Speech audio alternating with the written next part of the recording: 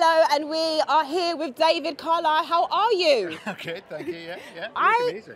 Oh my gosh, thank you so much, first of all. And I was just about to say the same. Can you talk us through the outfit? Because I'm loving it all. Absolutely. I know. Okay, so I mean, I'm Scottish, so you got to put a kilt on. Love it. And then this is like a really cool idea. Uh, this wasn't someone else's idea, not mine.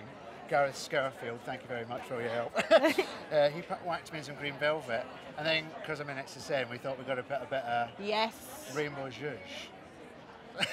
I love it. And mentioning it's a sin, you're nominated Yeah. for supporting actor. How are you? How how is it? How are you finding it?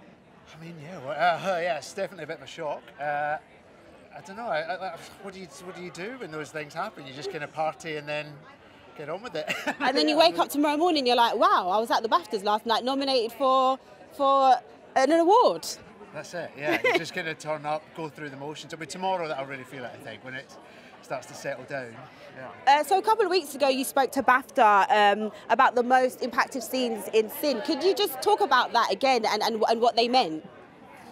Yeah, I mean, the thing is, some of those scenes were like pretty traumatic and pretty hard. Um, so I guess you didn't, we didn't really take them in when we were doing them, and then you just sort of have to get to it, throw yourself in. It's only later on, I guess, they resonate. There's a scene with Ollie, uh, Ollie Alexander, of course, uh, who's Ritchie Tozer, where he is given his diagnosis, and I just think all his performance in that is incredible. Yeah, His yeah. eyes just seem to go translucent, and he's just extraordinary. Yeah, Amazing. They really sit with you. And one final question: If you could sit next to anybody tonight, anybody here, who's it going to be? Okay, so I- I'm sure everyone said this to you, but I need to sit next to Ncuti Gatwa. I've known Ncuti for many, many years, but I need to find out what's going on. I've just looked at my phone and I'm like, ah, you're going to be the doctor. So I need to, I need to sit next to Ncuti. Listen, uh, we're going to be in there looking as well. Trust me, Exactly. everyone, like everybody. Well, amazing. Thank you again, Congratulations, and all the best for this evening. Thank you very much. Thank you.